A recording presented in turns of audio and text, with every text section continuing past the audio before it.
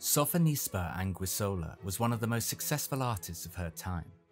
Born around 1532 in Cremona in the Lombardy region of Italy, she came from a noble family.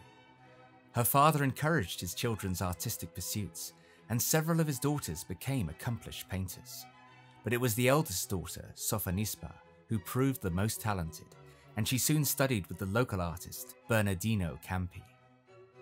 One of her earliest known works is of Campi, who happens to be painting her in this particular work, and this could theoretically continue forever, like a classic Escher.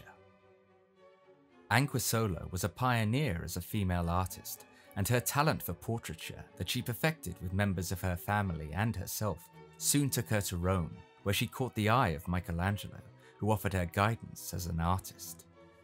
Her own big break would come when she was invited to work at the Spanish royal court, where she painted numerous members of the royal family, including King Philip II and his wife, Elizabeth Valois. Sadly, though, a fire in the 17th century has meant that many works from this period in Anguissola's life have been lost. After 14 years in Spain, she returned to Italy as one of the most sought after portrait painters of her time. She was a leading light for other female artists, including Lavinia Fontana. And late in life, just as an elderly Michelangelo had advised her, she passed on her wisdom to Antony van Dyck.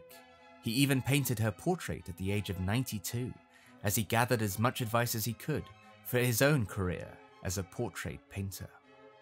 She passed away the following year, and her contemporary, the great biographer of the era, Giorgio Vasari, credited her remarkable achievements, saying that she created rare and very beautiful paintings.